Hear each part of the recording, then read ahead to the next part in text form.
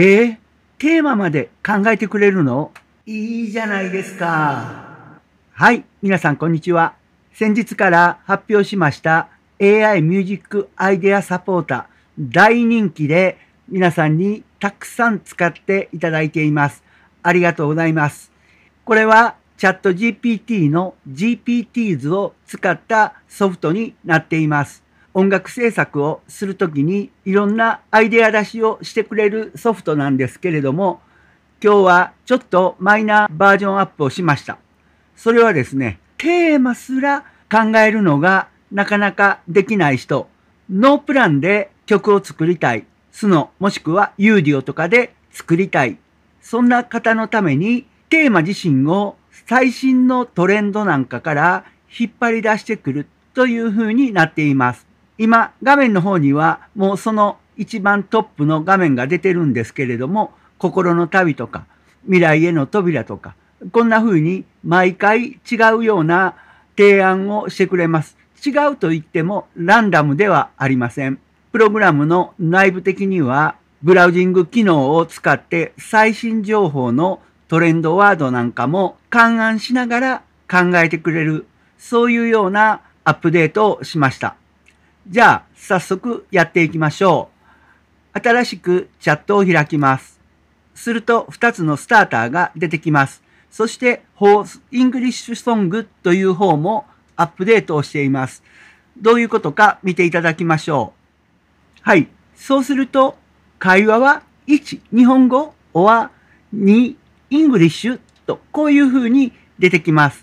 ここで日本語を選んだら、会話は日本語で、そして英語の歌詞を作るというモードです。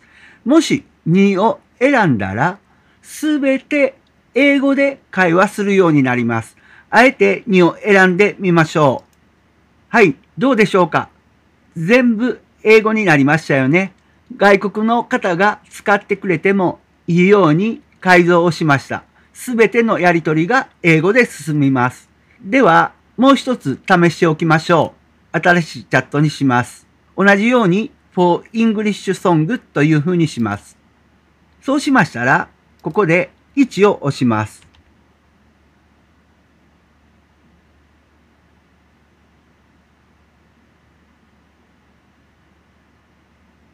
はい。このように会話は日本語で進みます。でも、ここで10ファンク音楽というのを選択します。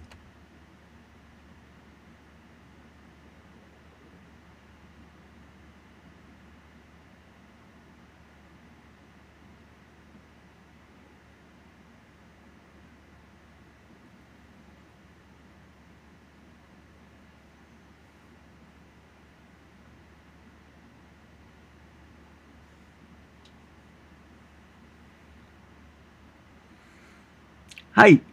表の一番右側を見てください。全部英語になっていますよね。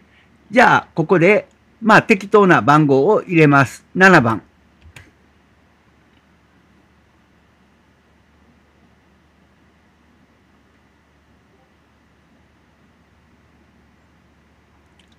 はい。どうでしょうか？全部英語でですね、歌詞を書いてくれました。英語の歌詞を作りたい日本人の人も分かってもらえるという、こういうような仕組みにアップデートしました。じゃあ、本題です。日本人の我々が一番使いたいモード、新しいチャットでやってみましょう。左側のスターターを選んでください。すると、先ほどのような日本語、英語というような質問は飛ばしてきます。はい。今回の提案というのは AI を意識したり、そういうのが多いですよね。8番の心の癒しや9番の自己愛と自己肯定。こういうところは少し変わっていますけれども、メタバースの冒険だとか、未来への希望とか、そんな風になっています。ちょっと面白いので、5番のメタバースの冒険、これで回答をしてみましょう。5番、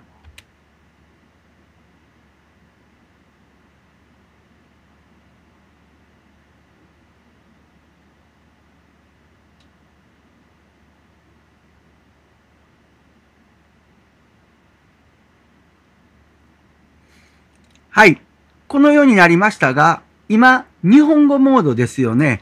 それなのに、一番右の歌詞がですね、英語でなっています。プログラムとしては、こんな風にしたつもりは全くありません。でもですね、このような形になってしまう。まあ、まだ AI が100点ではない証拠ですね。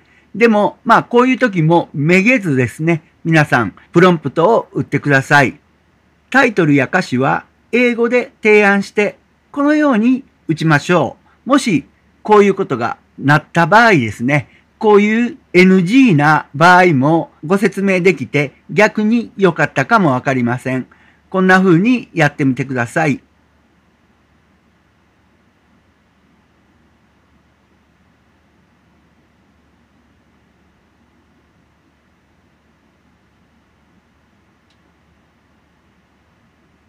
はい。このように提案してくれたことはいいんですが、タイトルが全部英語になっています。今は日本語モードでやったつもりですので、たまにこういうことがあります。皆さんにこういう場合もあったことが分かってもらえて、今回のデモは良かったかもわかりません。こんな時はタイトルも日本語にしてください。こんな風に言いましょう。このようにして送信します。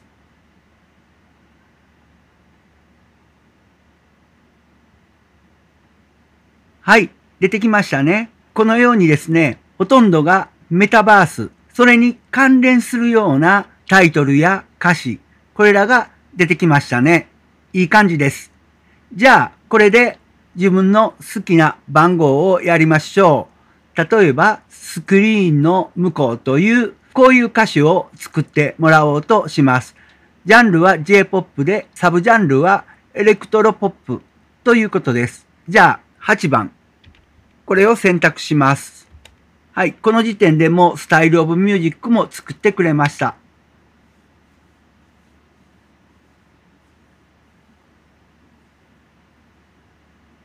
このように日本語歌詞が出ました。歌詞に英語を混ぜてほしい。これも聞いてくるはずですが、これを忘れています。そういう時も言ってください。はい。英語フレーズを40%入れて、こんな風に言ってみましょう。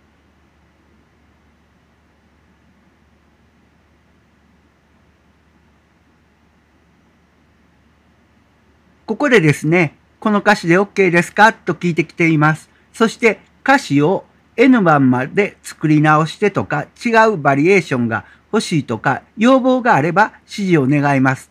というふうになっています。ですから、ちょっとこの頃ですね、スの AI の場合、4分の曲、いわゆるもう完成曲が作れることを考えると、コーラスの2番までしか作っていません。ですから、3番までの曲にしてくださいというふうに言ってみましょう。はい。このように言って送信してください。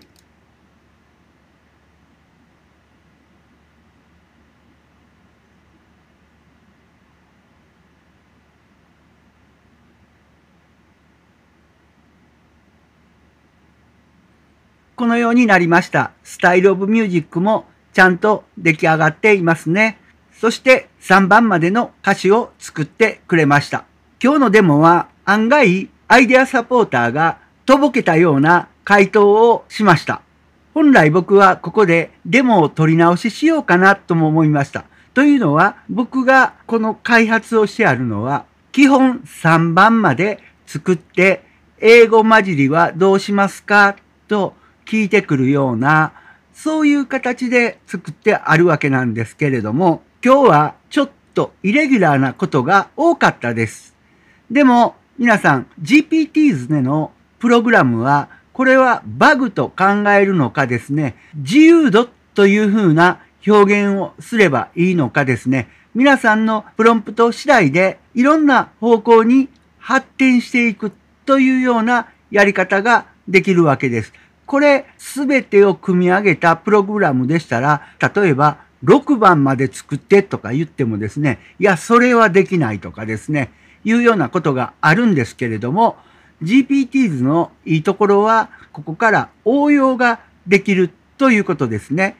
例えば、このソフトの機能にないこと、そういうのも試せます。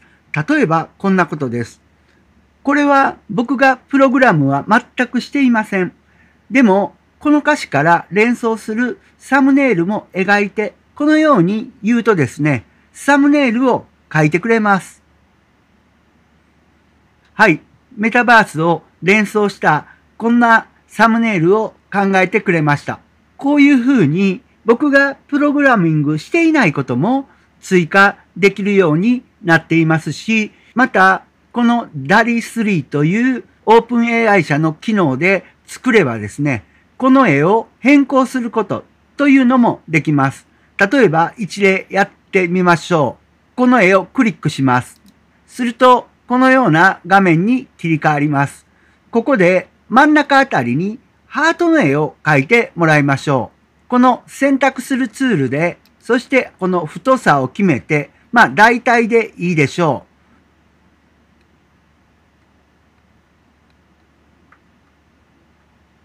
はい。このように選択をしました。そして、ここにハートマークを合成してというふうに言います。そして送りましょう。こんなように画像の編集というのも最近になってできるようになった GPTs です。皆さん、いろんなアイデアでこれを活かして使ってください。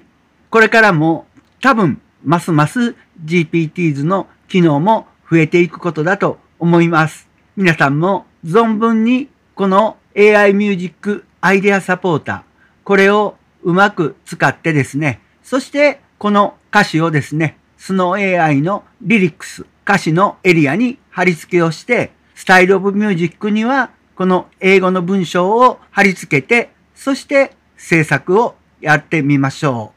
まあ、その部分はもうたくさん動画をアップしていますので、皆さんそちらの方を見て、スノー AI をご利用ください。